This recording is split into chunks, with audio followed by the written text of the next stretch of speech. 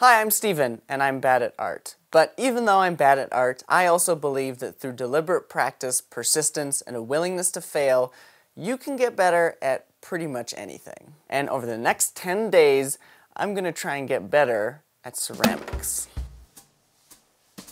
The goal of the next 10 days is simple. I want to go from being someone who has never thrown a piece of clay on a wheel in my life to making a gorgeous, fully functioning ceramic bong.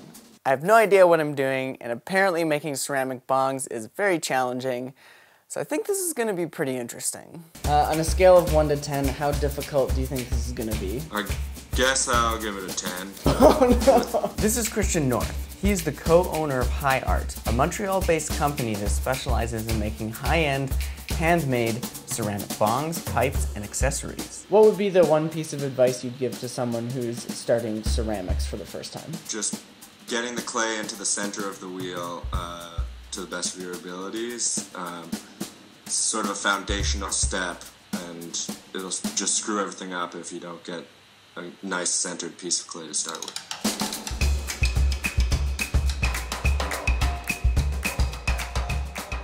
Today I'm going to try and figure out wedging and centering. Oh!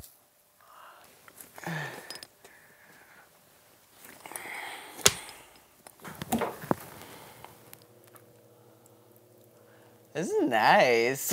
I like this. Okay, centering the clay. Well, Oh my god, there's some growth. This is so weird. I don't think I have centered it. Wow, cool. Oh, I love this.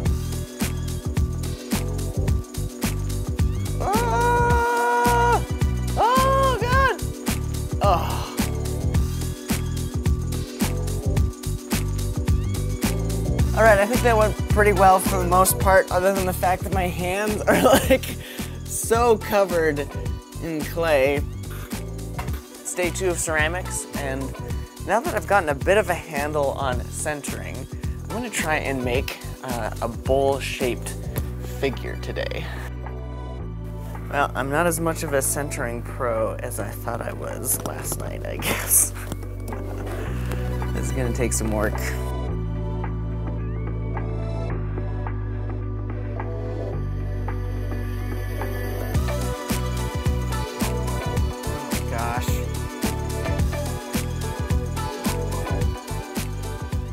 All right, so last night I was watching some tutorials and it turns out that I've been spinning this wheel the incorrect way the past few days, which is such a silly mistake, but honestly, I'm hoping that it's gonna make a big difference in my pulling attempts today. Uh, no. Look at it go!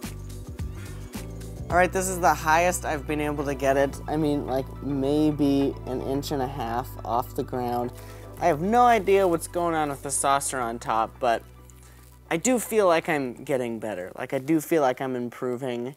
So the past couple days, I don't feel like I've been super patient with how I've been approaching this. So today I'm gonna focus on being calm, methodical, and just taking my time.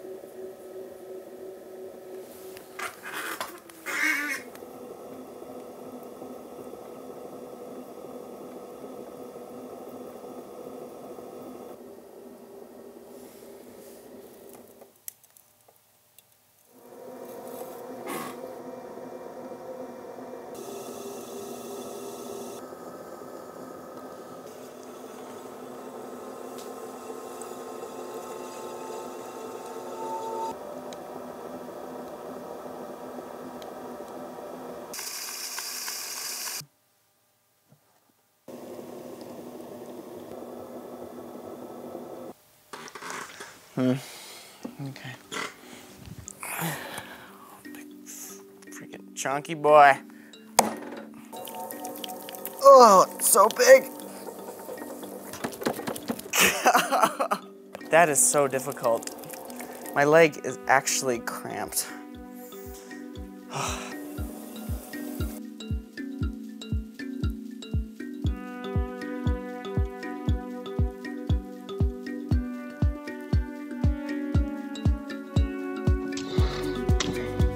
And so yesterday I got like pretty frustrated. So today the goal is really to just try and stay as calm as possible, try to enjoy it, and also make a freaking bong. Calm and firm. Okay. Okay, that feels almost perfect. Oh, baby, I still got it. I mean, I think as far as a small base goes, that's pretty good. Wow.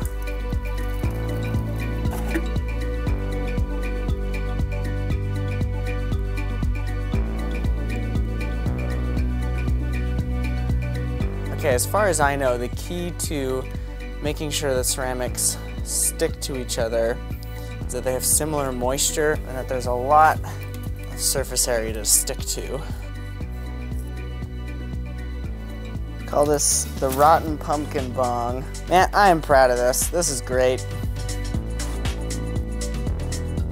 Okay, today is the 10th and final day trying to make a ceramic bong. I've already made one, but I know we can do better, and I'm gonna make a bong today if it kills me. I think that this is the best bowl I've made yet.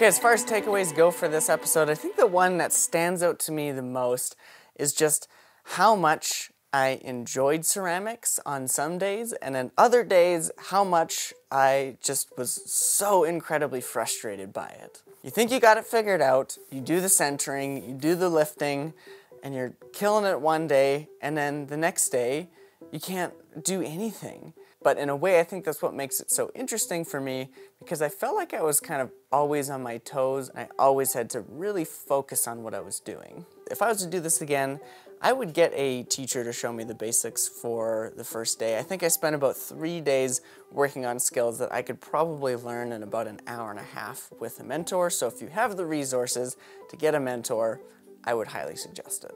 That being said, my experience with ceramics was overwhelmingly positive, and honestly, I hope to be able to continue to do this throughout my life. Anyways, thanks for watching, and we'll see you in the next video. Like, what do you think about the end product? Yeah, I'm really impressed that you managed to pull it off in only eight days, man. I'd, Nice. I'd have to smoke it to give it the full review. Yeah.